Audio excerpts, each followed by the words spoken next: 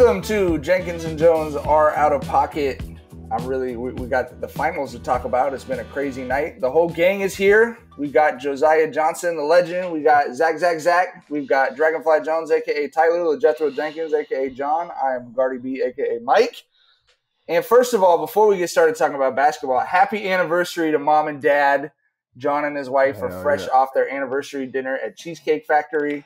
Got Hell yeah. gourmet shit. Real nigga dinner. Real nigga dinner. You feel That me? is that is true love. You take your boo to Cheesecake Factory, that means that you are in true love. She showed up. She said, "I'm glad we can do shit like this instead of that bougie ass shit." I said, "This is why I married you. Hell yeah. This is why I married That- you. We over here that is miso beautiful. salmon. You feel me? I love it. You know, hella, hella, hella heavy whiskey. You know what I'm saying? And shit. You feel me? I love it. I've been to Cheesecake Factory probably like three thousand times, and I will still go through every page of that menu just to see if it's something new on there that I haven't Damn seen yet. right, I'm not gonna order it, but I just want to see. People weird on some too many choices. Why you mad at options, Just- motherfucker? Weird. Josiah gave me the best career advice I ever got. I was broke as fuck, couldn't afford anything on the menu, and I was sitting there. But Josiah, I, I had a meeting with him at a Cheesecake Factory like seven years That ago. sounds like a It was party. very helpful. The Cheesecake Factory used to be my hamburger Hamlet for the Entourage fans out there. Anybody who's going through any issues, let's meet at Cheesecake. There's tons of options. Yeah. Get you a little strawberry lemonade. You, nothing to complain about. Get you some of Yeah, that, some that of that uh, brown bread. You know what I'm saying? What was his advice? Just bread, eat bread, bread? bread in the business. You know what I'm saying? Come Mhm. on now. What was his advice, Zach? Just eat the bread? you, I, I'm not going to share it. You know, it's it's it was it was.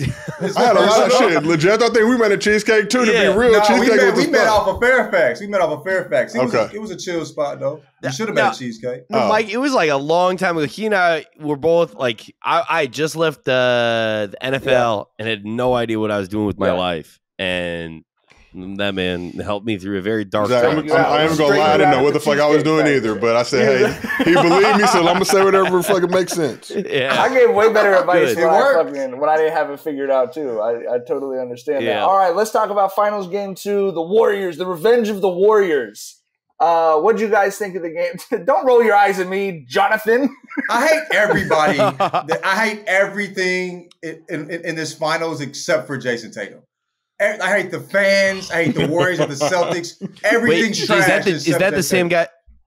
Wait, is that the player that was minus 36 Horrible, tonight? Horrible, Horrible last time too, bro. It wasn't his fault, I mean, bro. I it mean, was dude, not he his had like a, fault. t- a trillion turnovers. I mean, part part of it was his fault, bro. They're sloppy with the ball. But go ahead. he also led the team. He led their team in scoring. He had- was relatively efficient on the scoring end. I don't know. I don't did, blame did him. anything about this game surprise any of you guys? I think we all expected the Warriors to bounce back. They haven't lost two games in a row, all playoffs. Was there anything about this game that jumped out to you that you weren't expecting?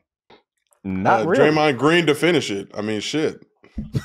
God damn, I've never seen a human being talk more reckless and wild to referees in my life and not get in trouble for it. But I appreciate it. Again, okay, that's black privilege, so I can't be mad at the man. Give us us free. I s- on the Draymond front, I saw that in the Mavs series where he was saying wild shit in one of the games. One of the um one of the games, he was just teeing off on the officials, and he had already gotten a tech, and I was kind of waiting for that second one to come.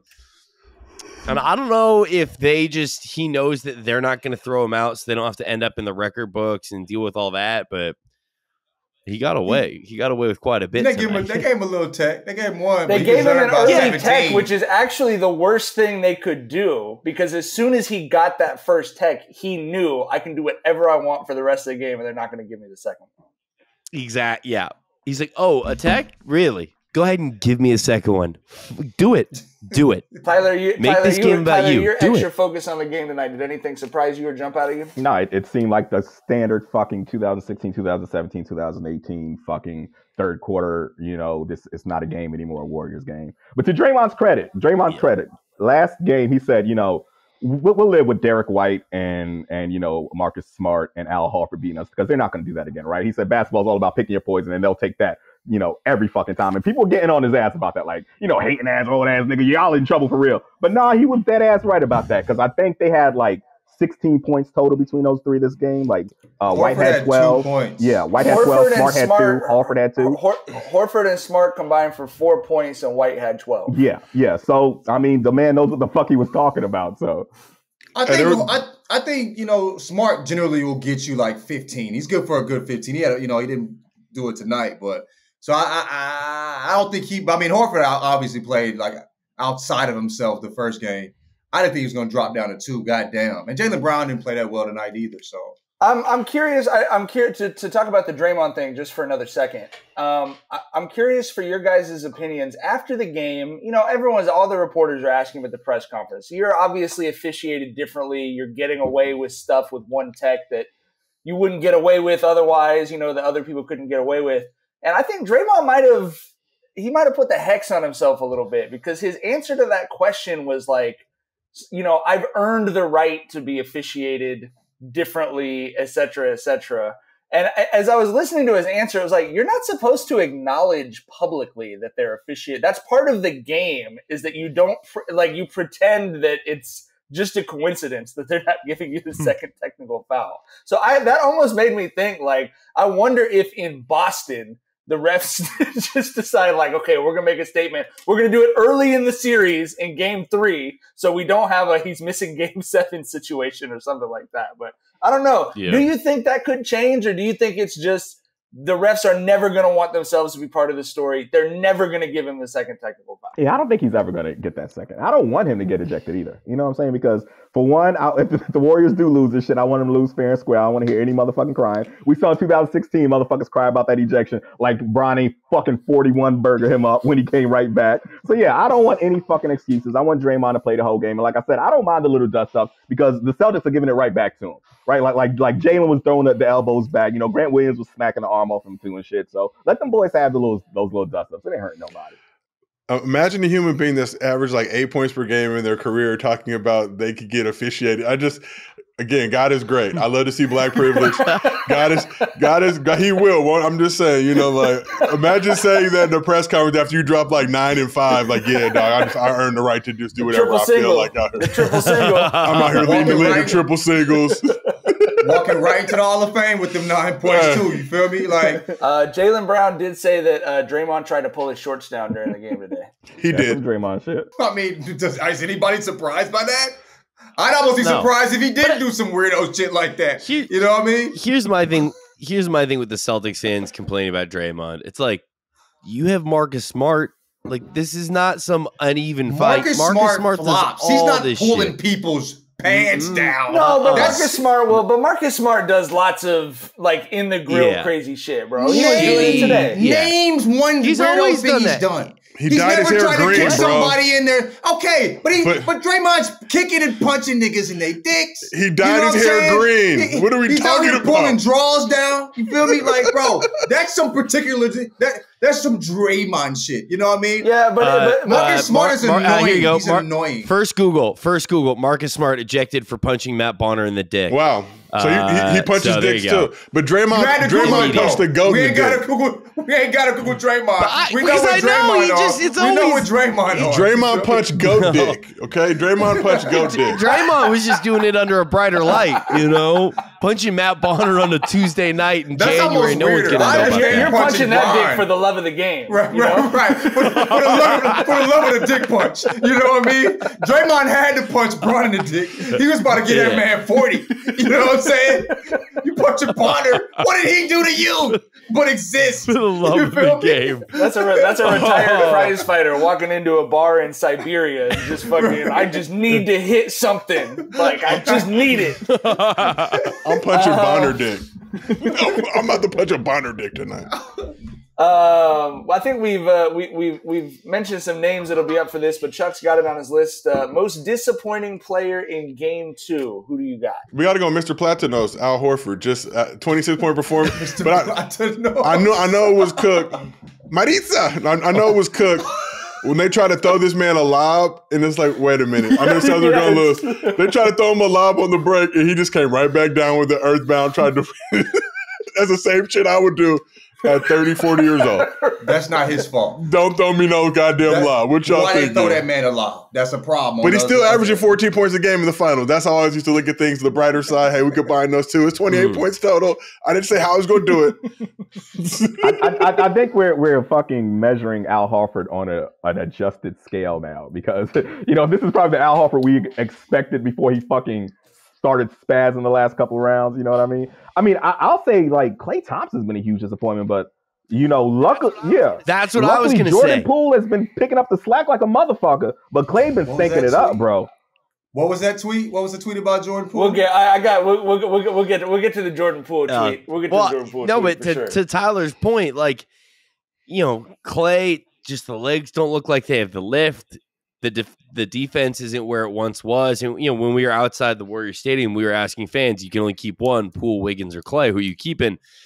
And they all, or who are you getting rid of, rather? And they're like, uh, get rid of Wiggins. And it's like, you want to keep this dynasty going? The smart move is not to get rid of Wiggins. And I'm That's telling you, it's not to get rid of Jordan Poole. Yeah, that's interesting. That, that, that's a, that's So, an interesting question. I- I just if I, I love Klay to death. I, I don't know if it's the headband slowing him down. I, I don't I don't Look, know. I, I do. I, I, headband Klay just ain't the I same. do think we talked in our finals preview about you know everyone's looking at this as the Warriors offense versus Celtics defense, but in my opinion, the reason I picked the Warriors is that the Warriors defense was the third rated defense in the league this year, and the Celtics offense I have much less confidence in. Although obviously, if they just continue to shoot fifty percent from three, it's going to go great. But this is a game tonight where they still shot forty percent from three up until the point where the game stopped being competitive, but they shot like twenty eight percent from two.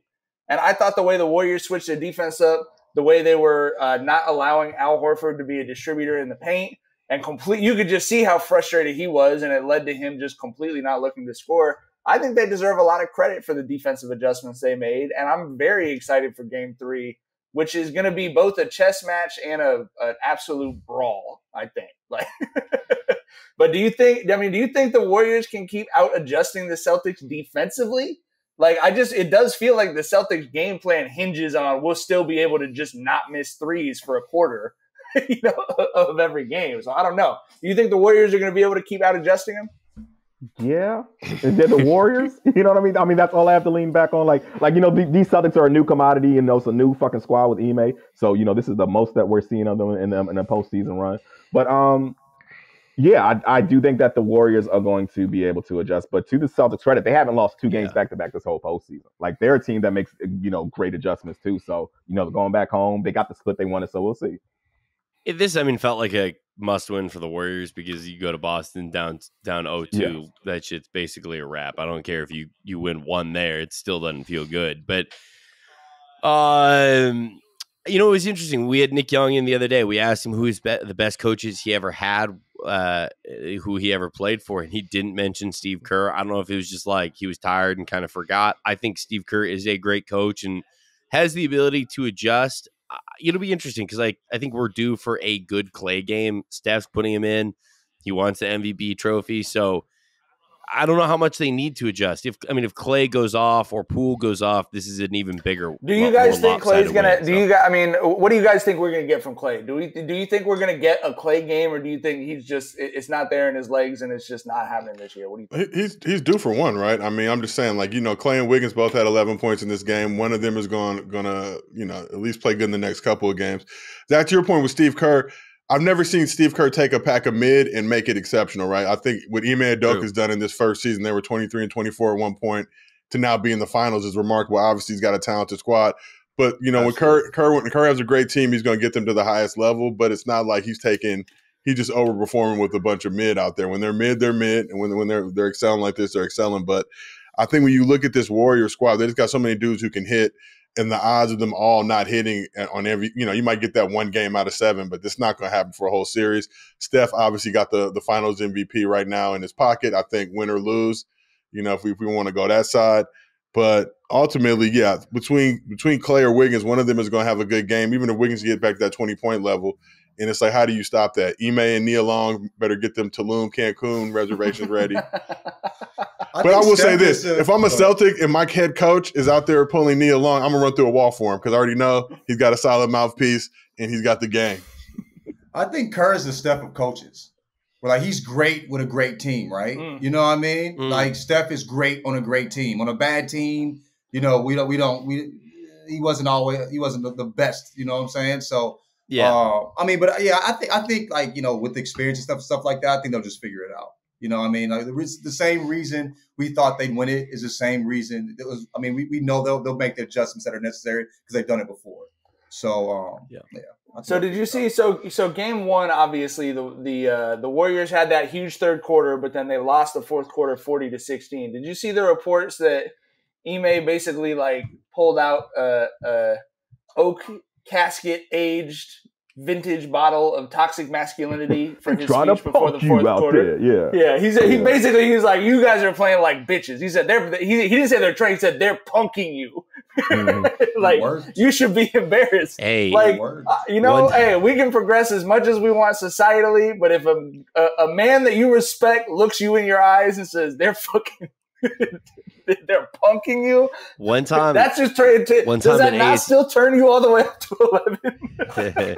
one time when I one time at ASU, uh, we had a bad home losing streak. So coach gets us all together, right? All the coaches, managers, players, and he makes us all sign the floor. Okay, and then he gives this speech, and he's like, "This is your home. Okay, you can't let people come into your home and jerk your brother around. That's your brother. Only you can jerk your brother." And I watched a huddle full of 25 grown men trying not to laugh as this man's yelling, You only you can jerk your brother. And I was like, Herb, what is wrong with you? So God bless Coach Sendek. Yeah, it, you know, it either works or it really doesn't work, right? When you go the toxic Yeah, masculinity. oh, we, we lost a lot Yeah. of games that A lot of brothers got jerked. year. Only you can jerk your brother. yes. Yes. Did he not understand I'm what the kids were thinking? What fucking No. 21 year olds were thinking when you say only you can jerk your brother? Yeah. I'm standing there, and Dedrique Taylor, who's now the uh, coach at Fullerton, is holding my shirt and standing behind me, trying to hide how hard he's laughing from his own head coach. That's So- incredible. Um, all right, I Yeah. do want to nominate to the uh, all-time pantheon of tweets about players, which includes uh, the guy who said that uh, Giannis hoops like a street shark, and uh, the person who said that. Uh, That is a classic. That might be the best. That came out of left field and it what made was, so what- what- what much was- sense. I, don't- I don't. I don't want to mess the players up. What's the What's the Khris Middleton one? Well, um, Paul George is the LeBron James of Khris Middleton's. Yeah. But then- Or was it Khris Middleton? Yeah, but, but, but then, but then Khris Middleton balled out, and we were like, "Hold up, Khris Right. Middleton might be the LeBron James of Paul George." of Paul George. Like, we had to do some protection there. That's what it is. Uh, Damn, okay. that so should make a lot of sense. at he's still cold has a I think an entry into the the player description pantheon. He said Jordan Poole hoop like it's nothing but bad bitches watching. That's good or bad sometimes, though. It You know what I mean? Like you goes do either way. shit. You know what I mean? You know, it, it can go either way, like you said, Joe. It can turn left on you very quickly. Bro, when, when he hit that motherfucker from one step over half court in that triple team trap, did you see the glowing look of approval that Steph had on him when he walked into? Like he was like, "This motherfucker just like me." Like you don't see Steph look at motherfuckers like that. devil. Yeah. he got that same devil in him.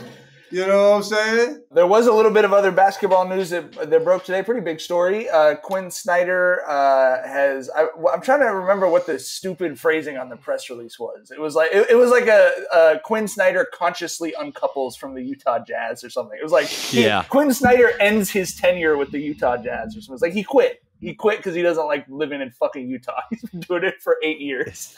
He's fucking over it. Yeah. Uh, what was your guys' reaction to this news? You think he's going to the to San Antonio to be the heir apparent? Um, what do we think is going on here? You just get sick of being in Utah? What do you think? Nostradamus. I think his nostrils thank him. I'm sure it's hard to get what he's looking for in that particular city. Oh. I can see him, you know, becoming Yo. assistant coach on the Heat. That would be a, a great location for him. Orlando. I mean, somewhere just kind of, you know, in that Colombian pipeline. Utah is known for for uh, being a, having a great snow culture, but not the type that Quin Snyder is looking for. That's what saying. They were like, if you come here, you can go skiing. He was like, ah, I didn't mean that kind. Sorry, Mr. Snyder, but you beat us in the tournament, and I've never forgiven you for it. Yeah, I was about to say there's some there's some personal beef there for sure. 0-2, fucking San Jose. Uh, but but uh, in Quin's defense, I will say this: we played Mizzou, I think 02 San Jose Sweet 16, and I'll never forget this. And I always had the most utmost respect for him. He literally started cussing Kareem Rush out because he wouldn't shoot. He was like, "Motherfucker, if you don't shoot, I'm gonna take you out the game." I was like, "I've never heard a coach ever say that," and I was like, "God, I would love to play for this dude." So in Quin's Yeah. defense, I don't know if he's still like that. Obviously, we've heard other rumors. You have to keep your boo away from him, all that good stuff, but. Back in those days, I was like, "Yo, this is a dude I could definitely play for." I think, I mean, going to San Antonio makes a little sense. I think there's not many vacancies left. I'm curious who Utah is going to get because ostensibly they have good pieces, but I think they're in blow it up mode now. So, like, sure, going to be interesting where Donovan Mitchell lands. Sure, going to be interesting where Rudy Gobert lands. And, you know, Gogurt. Joe, you put Rudy- that in Rudy my brain so much. Call him Rudy We don't Gobert, respect but- your country, homie, so we gonna pronounce your name how we feel like it. That's me with Bajelica. I told John and Tyler, I, I'm, gonna- I'm gonna call him Bajelica forever. He's European. I don't. Ha- it's not racist for me to pronounce his name incorrectly on purpose for the rest of my life. I'm never calling him anything but Bajelica. Bajelica, Bajelica Houston. But yeah, I, I mean, I mean, the thing about the Quin Snyder shit is like, okay, we all know that there's going to be a major overhaul there somehow, some way. Like, was he not on board with the shit they want to do, or did he just not want any parts of it? You know what I mean? Like, were they thinking about shipping Donovan out and he wasn't on board? And he's like, nah, if that's what y'all are doing, I'm out. Or did he just not want any parts of the rebuild? I mean, I would understand either part. And you, you see Donovan Mitchell, you know, release the, the statement, I am distraught over what this means for me. Like, that motherfucker was out too. You know what I'm saying? Like, he sees his Yeah. out now. And now he's, you know, playing the season. You know, like, like he's telling like- motherfuckers, come get him, please. You know what I'm saying? So we'll see, man. Gets the tweet off, goes right back to Zillow that's got all of his tabs open for new houses and apartments in New York City. Like, yeah, there's no way. Yeah. The downfall and sell off of the Utah Jazz is for me like the first choking noise that Joffrey made in Game of Thrones. It's just like, yes, yes, I've been waiting for this. I needed it so bad. Jesus Christ. So great. Our non-basketball topic for the night is actually a snow roach update uh, to outdo all other snow roach updates. From the monkey update. this is Da, da, da, like the- okay. Have you guys heard of the sport of Far. cheese rolling? oh, yeah. Okay, in Gloucester, in England, there is a big Jubilee cheese rolling festival every year where they go to the top of the biggest hill in town, and it's a big fucking hill. And they take a, a block of cheese, it's three and a half kilograms, which is like seven and a half pounds. They roll it down the hill, and all of the men go chasing after the cheese, and whoever gets it wins the cheese. That's what they get. Very frequently, people dislocate hips, like nasty injuries. Uh, It's part of the cheese rolling competition. So this cheese rolling contest came back for the first time since COVID. We made it. The culture is still We're back. alive. Cheese rolling survived COVID nineteen. So that that the video went viral. A bunch of guys went to the hospital. Someone fractured part of his spine. You know the usual kind of stuff that happens when you're trying to run down run down a steep hill as fast as you can. but I dug a little deeper because I wanted to know who won the first cheese rolling contest since COVID. And what I found out, gentlemen, will shock and astound you.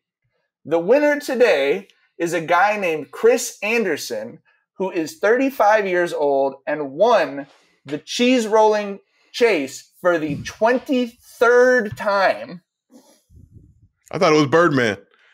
I saw you doing the bird. thing. Chris Anderson, uh, he finished second at 17, and he's basically won everything ever since. He's a LeBron James of cheese rolling in Gloucester. He grew up across the street from this hill, probably dreaming of throwing himself face first down the hill after a block of cheese.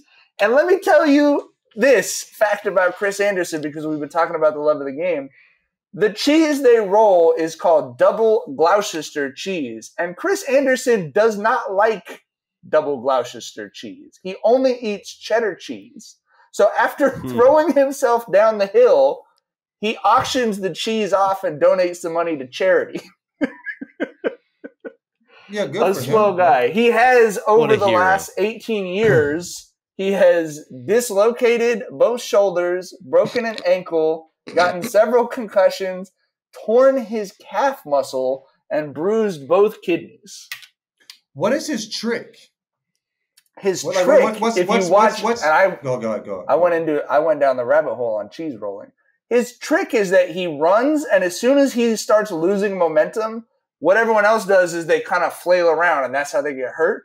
He just tucks himself in somersaults and then like stands up and like keeps his momentum going. Because what I thought his strategy was, which is what I would do, would be just wait for everyone Yeah, else wait to for knock everyone themselves Half unconscious. die and then just walk. That would be you and me, Tyler. down right? Yeah. We'd wait till everyone else was twitching and fucking casually Oh, stroll God. down the hill and collect our cheese. Stepping over some torn ACLs. Pardon me. So anyway, I wanted to shine the spotlight on the snow roach of the week, Chris Anderson, um, Oh, 23-time Jubilee cheese rolling contest champion in Gloucester, uh, UK. Snow Roach of the Week brought to you by Jergens Cocoa Butter. Sell it. John, I love the idea of you stepping over someone, teeth all over the ground, and you look at the cheese like this. Oh, you'll be eating through a straw. You couldn't even enjoy this. And you just pick up the cheese. Like, what the fuck, brother? People get fucked up doing this sport.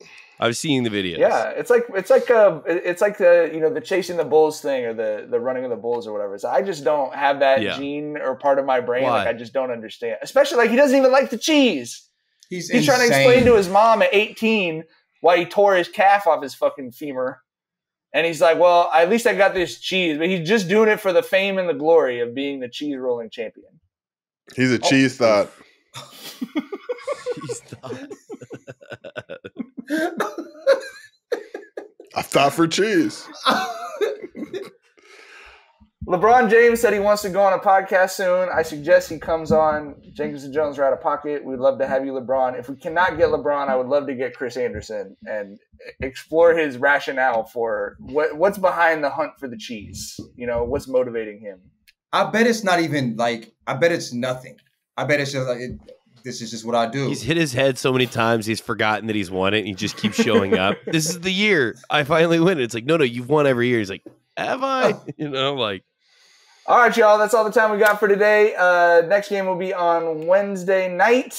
Uh, we will have a Jenkins and Jonez episode that day. Obviously, buckets will have all kinds of great bucketsy out of pocket coverage going as well. So we'll see y'all then. There's a lot of bags getting distributed. Get these bags, gentlemen. Bye. Oh, hello, Buckets. Did you enjoy that video? Well, make sure to subscribe to our YouTube channel. Go to the channel, check out some of the other videos we have. They're all fantastic. Also, like the video and make sure to comment on it, anything you want to tell any of us.